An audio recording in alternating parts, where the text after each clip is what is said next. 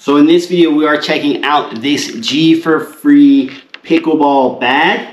If you're looking for a simple bag to take to the pickleball courts, you can't go wrong with this one. Uh, now this was sent to me for testing and review just in full disclosure, but let's go ahead and check this out. So right away you have your pocket right here for your pickleball paddle. Perfect size for one or two paddles, but I do have to take a note here. This is not big enough for your paddles to have a cover on. So we have my paddle right here, and I'll just go ahead and show you guys.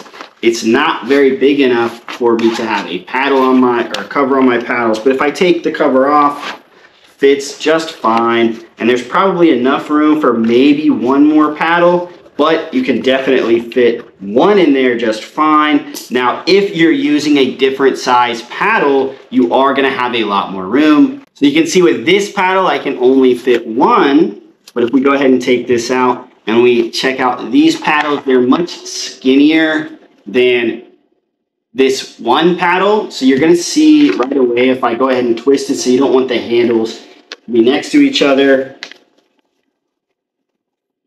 both paddles fit in there just fine. So it's just going to depend on what kind of paddles you have on how it's going to fit. So outside of this front pocket for the paddles, you do have a, another front pocket right here that has some dividers in there.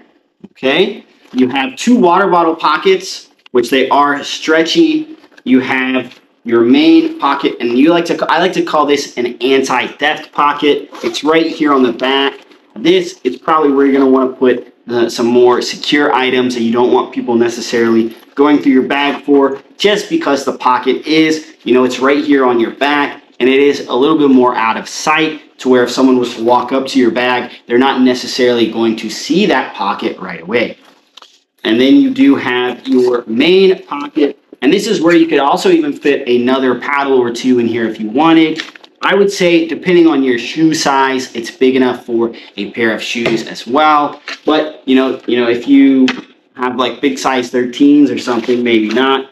And if you notice, something else I really wanted to point out was sometimes, so I have a regular backpack, it's actually not tall enough for some of my pickleball paddles to fit. Whereas this bag you can see the paddle that I have there to where you could fit another paddle inside here and it doesn't reach the top, which means it's going to be very easy for you to zip up the bag.